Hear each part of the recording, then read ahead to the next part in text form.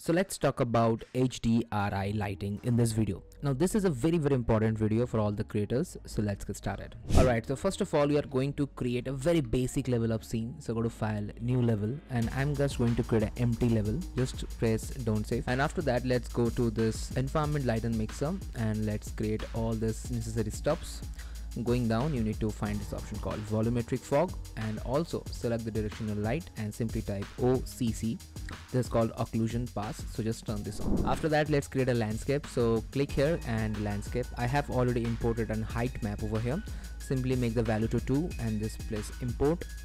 So we have our height map right over here now I'm just going to apply the material. And for the material I'm going to use fab. You will find out this called material and textures. Simply click here. But also you can simply type quixel just over here and press enter. So this will basically help you to grab all the quixel megascan textures now in the price sections simply use the free. So all the materials right now which you can see it's all are free. So let's use this mossy rock and this already comes in a high quality. So just press add to project. It will automatically download and import it in your my library in your unreal engine. And uh, here you can find after the mega scan this is our new material. So simply select this landscape going down just drag and drop this to here. And after that simply double click and over the tiling material just make it to 0.1 press save. Now to enable nanite tessellation simply type nanite. Just check this nanite enable and build data. So now you can find out a little bit of displacement over here. But going down you can also find called displacement scaling. Simply turn this on. So if you make it to 2 the displacement are increasing but there's a catch. If you notice there's a very weird kind of a shadow over here.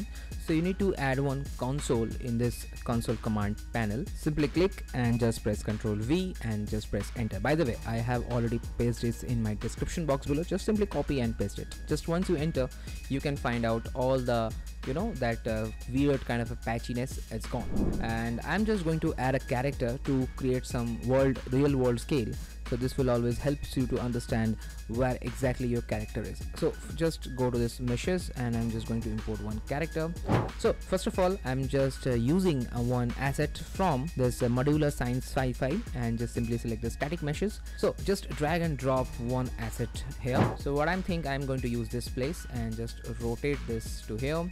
And i'm just make little bigger because this should become very large from this character because if you think of this character this will go here. So this this looks pretty big.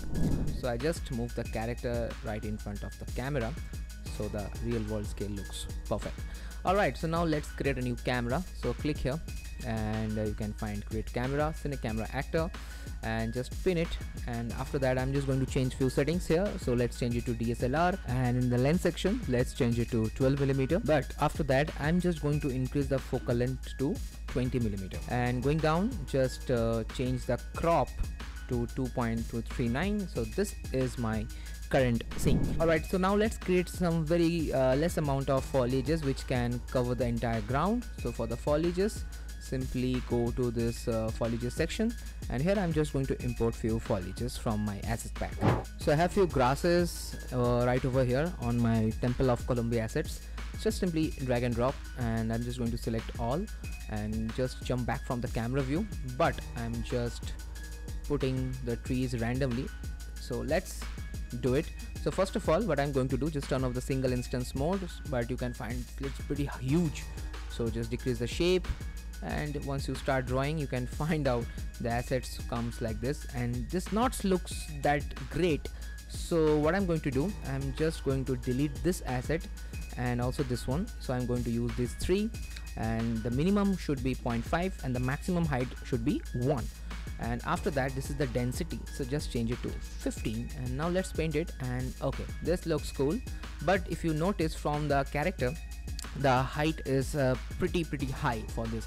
So let's control Z and let's decrease it to 0.5 and change it to 0.1 and now into play yep this scale is pretty perfect now increase the density to 100 and now once you play or like uh, paint this looks pretty pretty. So uh, for the trees i'm going to use this european beech trees because these trees are actually high quality trees. Just drag and drop and after that jump back from the camera view. Select the camera right over here and just pin it so that you can see it always. Select a tree and make sure the scale should be pretty high and also I'm just going to push this tree little far so that it will always become you know depth of field kind of a thing. And also a little bigger only on this direction. Now to cover the entire scene I'm going to use tree on this area as well but not in that depth in a different depth. So this is my basic scene which I'm going to create. So the scene creation is done. Now let's work on the lighting so first we don't need this volumetric cloud and the skylight so just turn this off. Also the sky atmosphere. So we have one directional light and exponential height and fog.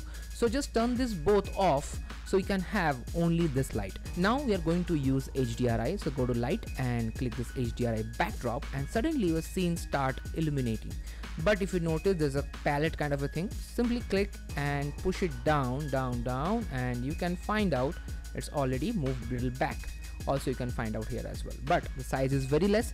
So just increase the size to 5000 or 50000 so that the entire bg is completely in far very very far. So already you can see your scene started uh, become lighting and this looks pretty high pretty cool. But the artificial lights you can feel over here so now I'm just going to browse some HDRIs and I'm just going to put those HDRIs in the scene and let me show you how HDRIs exactly work for this kind of shots so that you can light any scene any anything which you will create. So just simply drag and drop one HDRI and suddenly we notice the entire lighting positions are changed. But before doing anything let's create some post-process volume so that they can control the exposure. So simply select the post-process volume click here and type infinite bound so the spelling is wrong. Infinite bound. Just turn this on. Close this. And you can find this called bloom. Just turn this both on.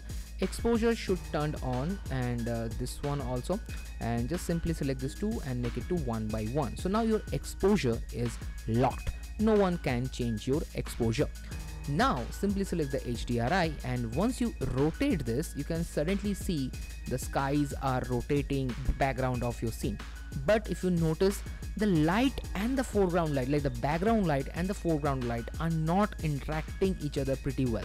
Also i'm just going to share you one high light scene. So this is a different light. And if you notice the lights are interacting with the scene but not the ground. If you notice the grounds are not interacting not uh, like uh, appropriate way so what you can do you can simply once you finalize your HDRI like for example if you finalize that this HDRI will work for you so first of all adjust the lighting direction and all then what you need to do go to this select the skylight and click here and use specific cube map. Just drag and drop to this here. Now suddenly if you notice this will interact with the ground shadows and all so basically uh, the skylight will work with the same HDRI in a same rotation panel. So what happened? When you use the secondary mode that will control the shadow area. So what I'm going to share you just turn this off then suddenly see the shadows are changed.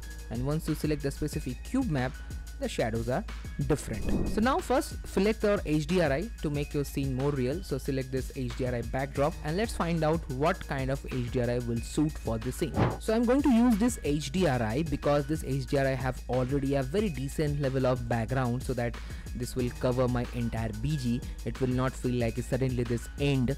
So we have also a very good amount of light source which is coming right from here. So now the magic trick will come. Select the skylight and I'll just disable this first so that the entire scene will lighten up in a normal way. Now just turn on the directional light over here and suddenly you see the scene got completely changed. So first of all I'm just jump back to my cine camera actor view and once I select this directional light if you see the light directions are exactly same from the HDRI so if you press ctrl L you can actually change the light direction which can actually match with our scene. So let's select it and let's match the light directions. And okay this looks perfect. Now after that what I'm going to teach you which is first simply select the directional light actor. So just press F. So this is directional light actor and the light directions are coming exactly same from the HDRI light source which is perfect. Now select the directional light and select the HDRI backdrop. And now you can rotate both together. How? Let me show you. So first of all i'll just select the cine camera actor pin it. And again select the directional light select the HDRI backdrop and now look at the scene over here. And once you rotate the entire light setups are changing together. It means HDRI light and directional light are moving together and this will give you a very very realistic light setup in your scene. Now there's a fun fact and also a pro tips. Do not place your sunlight directly in front of the camera. Always put it in a 45 degree angle or on a different direction angle but do not put it completely in front of your camera. So let's put it on let's say this direction or let's say on this direction. So now if you notice very uh, good amount of light is coming up right from here now just turn on the exponential height and fog suddenly your scene got some depth. And if you want you can modify the depth also like 0.01 or let's say only 0.1 so this will give you a proper depth. But i don't think the scene need a proper depth because we have already good amount of depth over here. Now going down you can find this called volumetric fog. You can simply increase or decrease the volumetric fog intensity also the extinction scale so this will give you a proper cinematic shots. But in the albedo color select this click the dropper dropper and just click the sky color so that the volumetric color are exactly same like the environmental color. Now in the post process volume going down you can find this called vignette effect. Simply turn this both on so that this will create some you know dark edges from this background. This will create a very good of cinematic shots now going down you can also find some color grading palettes as well and also a lens flare. So simply turn this lens flare on and also the color grading palette. So in the global just increase the saturations to 1.2 and also in the contrast section let's make it little cinematic. So just put it in different color grading mode. That looks perfect. And now just jump back to your cine camera actor and this is your scene so whenever you feel like you want to change your scene something like that you can simply select the directional light and HDRI light backdrop and you can rotate it. So yes, that's it for today. I hope you really enjoyed this very short and simple HDRI and also side-by-side -side landscape creation video. Hopefully you like this video. If yes, then make sure subscribe to our channel. See you next video. Till then, keep watching, keep rocking World of VFX.